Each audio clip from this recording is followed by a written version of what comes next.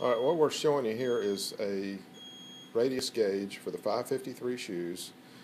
There's two sides to the gauge that we're illustrating here. You may have in your place uh, two separate half moon fixtures, but the intention here is to demonstrate the small side and the large side of the fixture with the smaller side being marked as end touch, which is this side right here, and the smaller side, or the larger side rather, being marked a center touch, like this.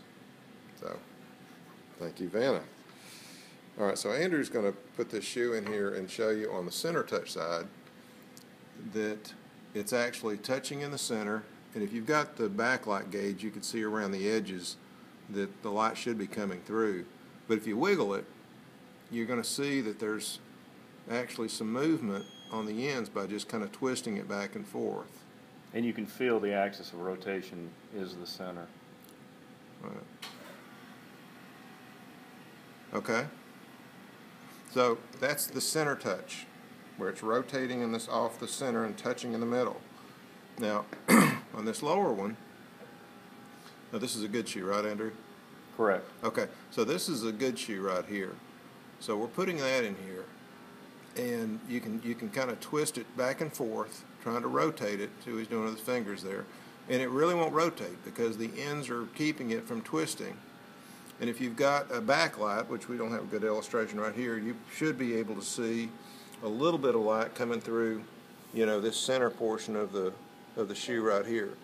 But it's very easy to feel when you've got a good shoe because when it's in this end touch side, it absolutely just will not will not rotate if you've got it nested into that fixture. Okay, uh, grab a grab a bad one there, Andrew. Okay, here's one that has been ground too small.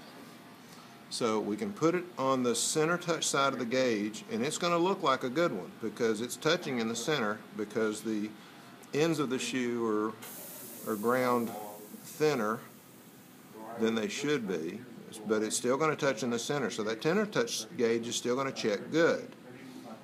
Okay? Now down on the bottom, what's going to happen is it's going to feel very similar to the way the center touch gauge did. It's still rotating back and forth.